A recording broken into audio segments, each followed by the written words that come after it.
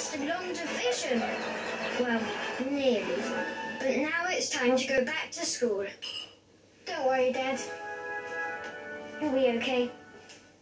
We'll still do breakfast. Ooh. Get delivery like a G with no minimum spend on KFC, Burger King, and Subway. Somebody say just eat. Oh, it's a chilled coffee from Starbucks. Chilled as in cold, not relaxed.